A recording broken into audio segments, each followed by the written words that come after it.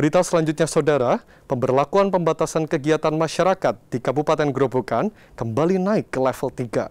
Puluhan kepala sekolah madrasah alias Kabupaten Grobogan melakukan evaluasi pembelajaran tatap muka untuk mendata jumlah siswa di masing-masing sekolah yang belum divaksin COVID-19.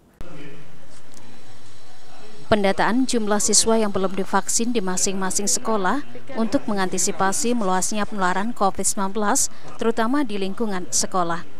Pasalnya dari seluruh sekolah madrasah di Kabupaten Grobogan, baru sekitar 50 persen siswa yang sudah divaksin dari total siswa madrasah aliyah mencapai 8.000 siswa.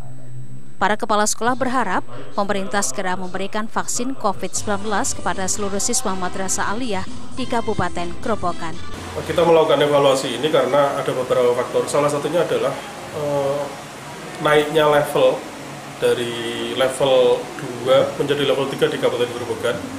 Maka secara tidak langsung ini menjadi satu perhatian kita bersama dengan seluruh kepala sekolah agar supaya harapan kita adalah nanti jangan sampai kemudian madrasah ini menjadi satu klaster tersendiri terkait dengan adanya uh, kenaikan level tadi.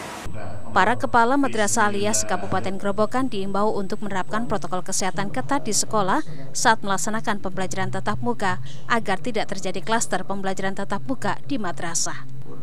Rifa Ihandoko, Kompas TV, Grobogan, Jawa Tengah.